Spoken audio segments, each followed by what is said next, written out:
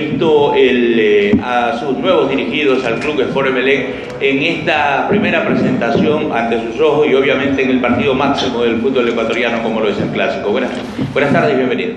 Bueno, muchas gracias.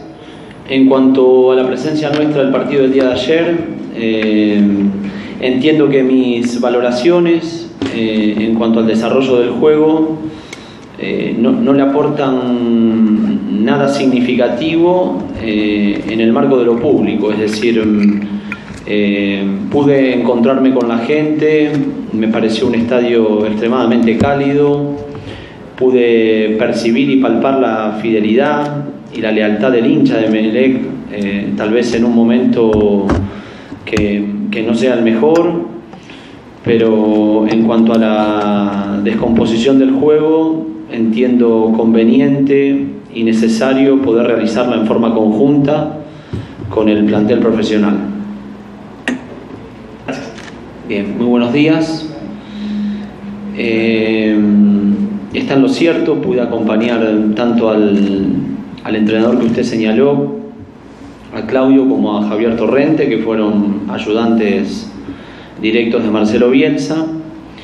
Igualmente uno cuando es convocado por una institución, en este caso Emelec, lo primero que, que asume es el, compromiso de construir una, un, proyecto futbolístico. ¿no? Eh, en eso uno lo que hace es reparar en la idea de juego, que es lo que a mí me identifica como entrenador, que tiene que ver con mis creencias, con eh, las cosas que me componen como técnico. Mm, pretendo que mis equipos sean protagonistas, que puedan tener un acento estrictamente ofensivo, que puedan estar compensados por una estructura defensiva que soporte aquello que perseguimos, que es instalarnos en campo rival, e intentar eh, brindar espectáculo.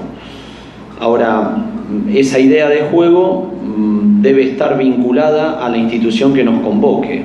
Es decir, en este caso siento que hay compatibilidad con la historia de Melec, con los equipos que, han, compuesto eh, los años de esta gran institución y, que en esa compatibilidad ofreceremos un modelo de juego que implique asumir riesgos, eh, defender lo más lejos de nuestro arco posible e intentar disponer del balón la mayor cantidad de tiempo para poder controlar y elaborar y, finalizar.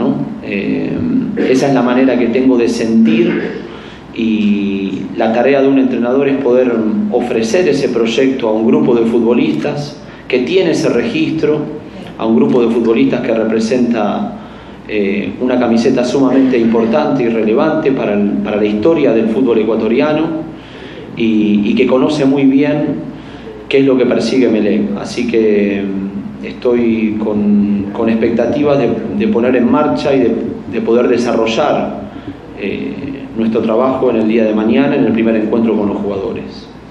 En cuanto al plantel, eh, puedo asumir que mm, nos vamos a que vamos a gestionar un, un plantel compuesto por futbolistas de jerarquía. Eh, y en cuanto a la forma o a ese modelo que describí anteriormente, eh, si hay variaciones y modificaciones, eh, se, irán haciendo efectivas con el, con el transcurso de las sesiones de entrenamiento, es decir, poder anticipar eso sería muy imprudente de mi parte. Mañana empieza a rodar el proyecto deportivo, hemos tenido tiempo para poder analizar eh, en forma exhaustiva las capacidades del plantel, pero también reconozco que eh, un entrenador empieza a conocer a sus futbolistas cuando eh, comparte la tarea en campo. A partir de ahí, Emelec podrá sufrir variaciones eh, en cuanto a nombres y a esquemas, pero en, en primer lugar buscaremos poder potenciar y aumentar las capacidades de estos jugadores y encontrar los intérpretes que representen el modelo de juego que nosotros proyectamos.